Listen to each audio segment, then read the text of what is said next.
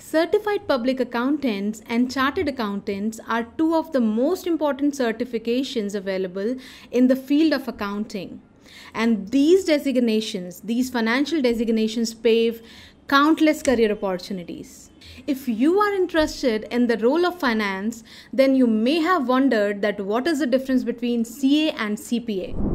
Hello guys, welcome to our Know and Grow series and this is our episode number 5 and this video aims to understand CPA and CA a little more closer in terms of course duration, recognition, eligibility, opportunity, and curriculum to help all the aspirants make a better and more informed choice.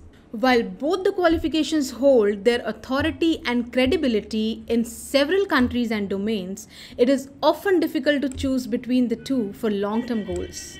Now let's talk about the governing bodies and the acceptability for both the qualifications.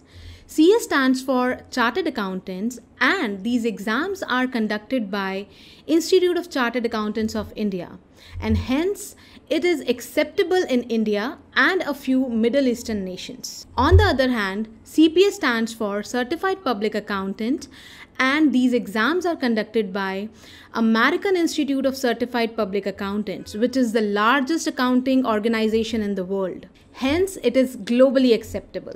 Now, if we talk about the duration, CA takes an average of 5 to 6 years to complete, whereas CPA can be completed within 12 to 18 months of time.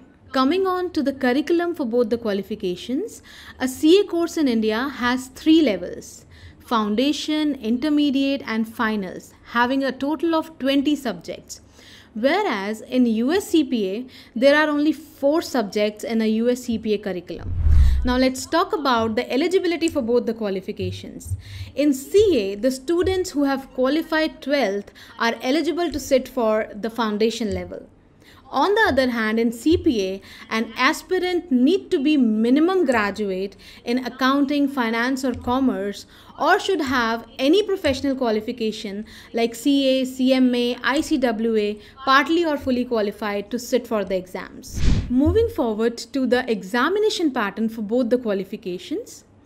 The CA exam pattern includes a combination of theoretical and practical assessments including written exams, practical training, and on the job training.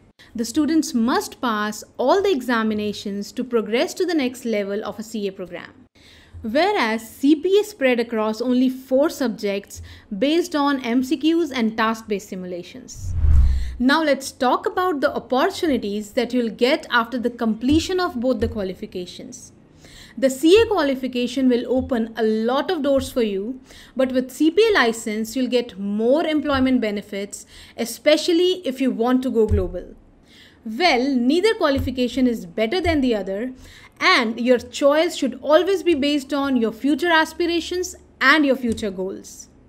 To know more, do subscribe to our channel and hit the bell icon for more upcoming episodes because CPA Boleto FinTram